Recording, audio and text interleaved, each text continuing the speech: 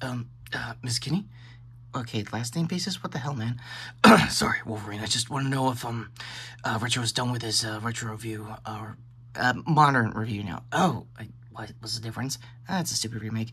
Uh, what's going on here? Why aren't you with the Askani tribe and all that?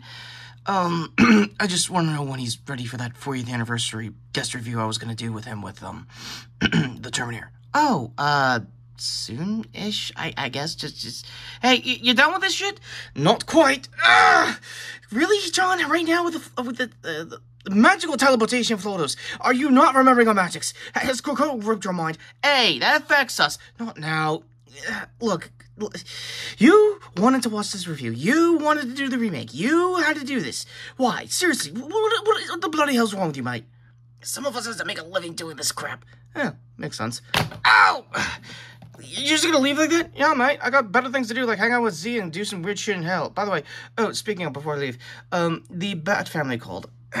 what exactly? Well, one, I'm not your secretary, and two, uh, they want to know if you and Jason can do a Suicide Squad Isekai review in time for that new Joker movie. Yeah, sure, whatever. Uh, anyone else? Uh, they're gonna try to get Damian as their enemy because all You're damn right we are! Oh, come on, Jason. I was trying to lay it on a little more thick than that. Yeah, yeah, consider it done, dude. Alright, good. And, uh, yes, long story short, I do have, uh, business with Eric Draven, but, uh, not whatever the hell that is. Uh, motherfuckers. and there goes AdSense. Okay. Oh, Gabe, what the hell are you doing here? Uh, just making sure you're you're you're ready for that uh for the retro review for uh the Terminator. Dude, did you just go back to your younger self? What, what, did you go back to the Askani shop? I said the same thing too. just finish up, all right? All right, all right, all right, all right. Hey everybody, what's up? This is retro character reviews. Totally not uh having to do a figure down just to get act uh, uh I guess another shoot here. Yeah, sorry for that. Anyway, uh let's get to uh my overall thoughts and review for the new um Crow remake and let's get the most obvious out of the way. Is Bill Skarsgård anything like uh, the original movie. Um, yeah, not even close. So in case um you missed my uh, retro review earlier this week, go to the cards there. And uh, with that all being said, uh, yeah, uh, this is a lot for even a, standard issue remake of the 2010s. So the big production of um the, the sorry the remake uh was about a 10 year development hell if I've even read that right on the wiki. So uh, go to that as always now below along with the cast.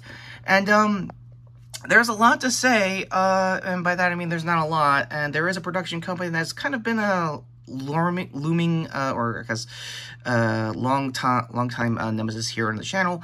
Uh, Davis Productions. For those who remembered my uh, Resident Evil uh, retro review series I did uh, last Halloween, um, they basically flipped the bill for the majority of those movies and a lot of um stuff for Sony. So the fact that they switched to Lionsgate uh, for this movie is not really surprising. It's just, it could have been way more, uh, I guess, weird fun, I guess, in, I guess, Charlie's terms and uh, Moistcr1tikal's uh, review. Go to that, by the way. Uh, so getting to the top, uh, there is one character actor I got used to that I mentioned in the retro review. Uh, Danny Huston, uh, who was of, uh, X-Men Origins fame here on the channel, and why I'm here. Uh, he's doing the best what he could with the material, like uh, most character actors of his time, but uh, aside from the dusty screen, sorry for that. Uh, can you tell I'm in 4K?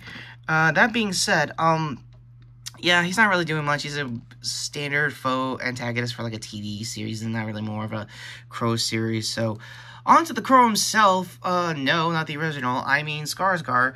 How is he at least trying to get the pain of Eric out of the way? Well, you get more time with him and Shelly establishing their relationship, and that's kind of the bulk of the runtime, which is okay. Uh, not gonna say Twigs is full uh, pop star name, so my bad in advance. Uh, go to the IMDb like always. But she did what she could uh, for the material as uh, Shelly as well. Uh, also, we're on forced name basis because I believe that was the intent, I think, of the comic. So, if there's any comic book authenticity that's kind of there, I will say, um, you kind of buy the relationship for about a good four minutes before you realize it gets a little cringy with the lines. So, nothing really home to write all home about. Also, I think this is going to be the first time for the channel I've done an actual, um, I think Skarsgård review for uh, Bill's work because I didn't really do the It franchise. Long story short, there actually had childhood trauma with those Stephen King novels. Just saying the man. And uh, yeah, the whole point of uh, Retro Kid Retro Reviews is to talk about horror franchises that you know scared me as a kid and all that stuff. But uh, yeah, Stephen King's gonna be a long wait for you guys. Just saying in advance, but. That being said, uh, chapter two uh, was uh, basically what the uh, book usually is. The first half is not bad with the kids, but when you get to the adults half, it's uh, getting pretty mid. I told you. Okay, fine. Just wrap it up. Uh, final thoughts and scores, since you don't really have time here. For what? For our, for the retro review that I want to do. You're styling like a villain version. You sure Strife isn't in there? No, he's not. It's technically not possible. Yeah, he's getting mush mouth of the brain some. Yeah, I'm gonna try to talk to your mom about that. Uh, still currently in space, hanging out with Grandpa Corsair. And I wasn't notified why. Uh, classified. Was it though? Okay, Scott was a little more embarrassed and stuff. And you're using first name basis to your dad. And you know that's not weird, right? Says the woman calls her dad Logan all the time. Okay, family ties aside. Uh, let's just get to the scores for this movie. Getting to the point, um, no, that one, that's the better one. Uh, this one is all over the place in pretty much the worst ways.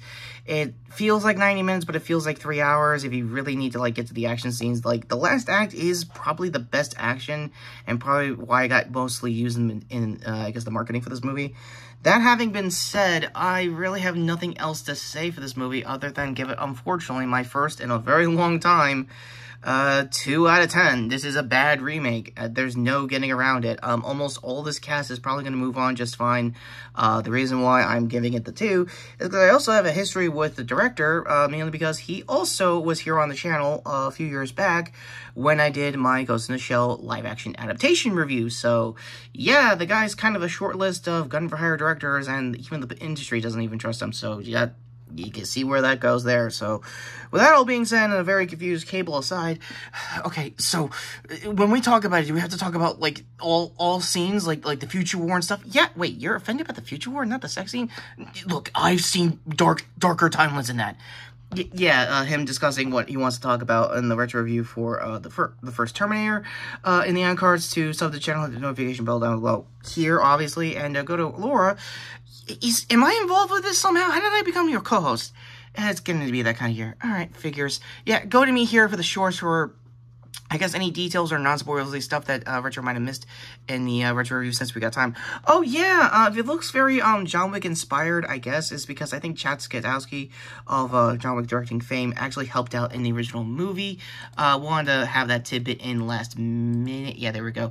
I want to put that tidbit in last minute. With that all being said, um, my apologies to anybody who wanted this remake to be better than what it was, but it's basically the long development hell of a lot of 2010s uh, remakes that I might have covered here on the channel. So, with that all being said, take care, subscribe. This is Retro Character saying I am wrapping up way too long, and that's longer than the runtime of this movie, if you can believe that. So, yeah, sorry guys, but uh, I guess Lionsgate is just not having a good year, even after that Borderlands thing. Yeah, what the hell, guys?